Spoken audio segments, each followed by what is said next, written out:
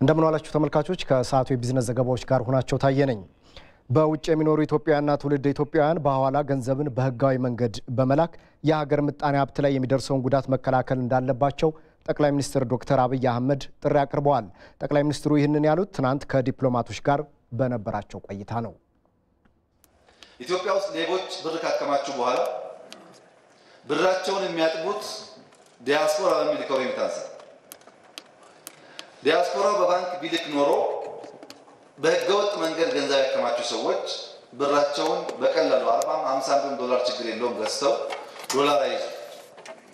በ black market ሲመጣ ግን ብር ችግር የለባቸው፣ ብዙ ብር አላቸው። ችግራቸው ዶላር ነው። ኢኮኖሚ በሚያናጋ መልኩ፣ ገበያን በሚያናጋ መልኩ ዶላር እየገዙ ይልካሉ። በዛ ሁኔታ ዲያስፖራ ሉዝ የሚያደርገው ነገር ይኖራል።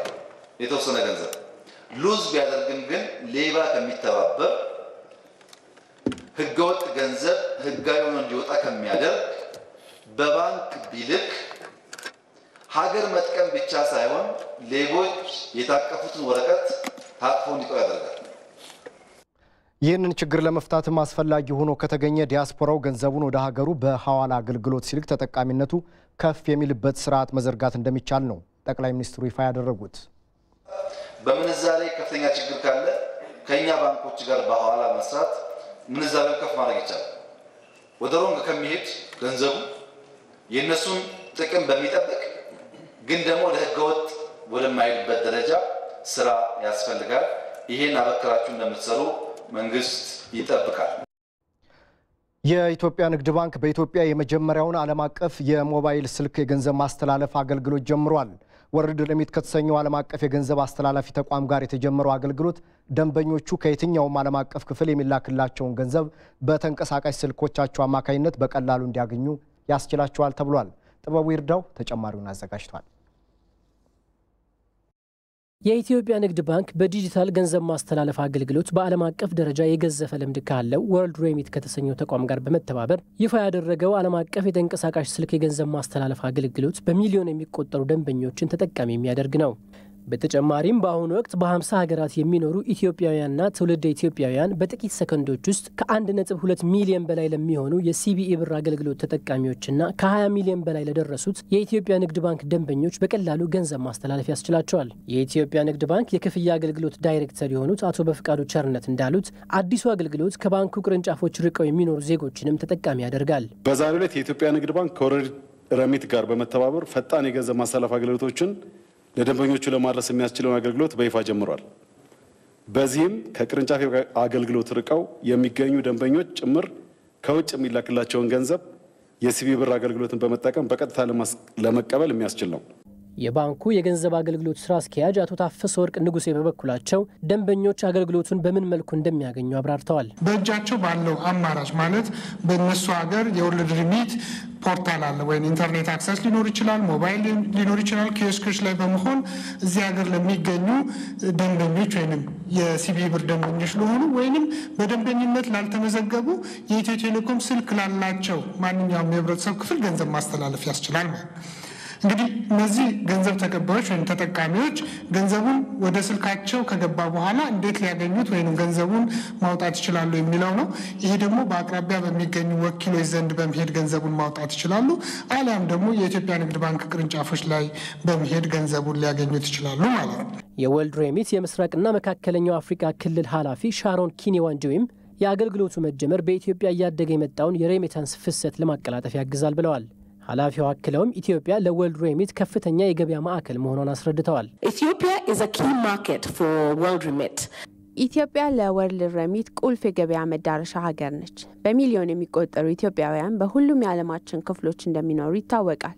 ከብሔራዊ ባንክ ባገኘነው መረጃ መሰረትም በተጠናቀቀው የፈረንጆች ዓመት ከአምስት ቢሊዮን ዶላር በላይ ገንዘብ ወደ ሀገር ውስጥ ተልኳል። ስለሆነም ተቋማችን ወደ ኢትዮጵያ የሚላከውን ይህንን ከፍተኛ ገንዘብ ምቹና አስተማማኝ በሆነ መልኩ እንዲደርስ በቁርጠኝነት ይሰራል። በአሁኑ ወቅት የኢትዮጵያ ንግድ ባንክ ከ17 ዓለም አቀፍ የገንዘብ አስተላላፊ ተቋማት ጋር በትብብር እየሰራ ይገኛል። የቡና አምራች አርሶ አደሮችን አዘጋጆችና አቅራቢዎችን ተጠቃሚ ያደርጋል የተባለ አክሲዮን ማህበር ተቋቋመ። ከ700 በላይ መስራች ባለ አክሲዮኖችን ያቀፈው ማህበሩ የተከፈለ 90 ሚሊዮን ብር ካፒታል ይዞ ነው የተቋቋመው። ስነ ስርዓቱን እየተከታተለች የምትገኘው ባልደረባችን ቅድስት ማሞ ደግሞ ተጨማሪ መረጃ ልታደርሰን በቀጥታ መስመራችን ላይ ነው የምትገኘው። ቅድስት እንደምንዋልሽ። ማህበሩ መመስረቱ በተለይም አባላቱን ተጠቃሚ ከማድረግና ለዘርፉ የሚኖረው እድገት ምንድን ነው? አጠር አድርገሽ ብትገልጭልን። አመሰግናለሁ ሁናቸው። እንግዲህ ዛሬ ማህበሩ መመስረቱን በይፋ የተገለጸው በዚህ በኦሮሚያ ባህል ማዕከል ነው። በማህበሩ መስረታ ላይ እንግዲህ የማህበሩ አባላት ተገኝተዋል። እንዲሁም ደግሞ ቡናን በማቅረብ በማዘጋጀት እንዲሁም ደግሞ በማምረት የተሰማሩ አባላትም እንዲሁ የአክሲዮን ማህበሩ አባላት እንዲሆኑ ተደርጓል። ይህ ለምን ሆነ ለሚለው ደግሞ የአክሲዮን ማህበሩን ፕሬዝዳንት አቶ ብርሃኑ ተክሉ እዚህ አጠገቤ ይገኛሉ። ጠቀሜታውስ ምንድን ነው? ለዘርፉ የሚያበረክተውስ ድርሻ የሚል ጥያቄ ያቅርቤላቸዋለሁ። እንዲህ ይመልሳሉ። ብርሃኑ ተክሉ ይባላለሁ። እንደተገለጸው ዛሬ በኦሮሚያ ባህል ማዕከል የአባ ቡና አክሲዮን ማህበር መመስረቱን አብስረናል። ከዛሬ ቀን ጀምሮ ባሉት ወደፊት በምንሰራቸው ስራዎች አክሲዮኖችን በመሸጥ ቅድም እንደተገለጸው አርሶ አደሩን ማዕከል ያደረገ እንዲሁም ደግሞ አቅራቢዎችንና አዘጋጆችን፣ ነጋዴዎችን ያካተተ እንዲሁም ደግሞ ከቡናና ሻይ መስሪያ ቤት ጋር የተወሰኑ ሰዎችን share በመሸጥና እነሱንም በማስገባት የሚሰራ አባቡና የተባለ አክሲዮን ማህበር ነው ዛሬ የተመሰረተው።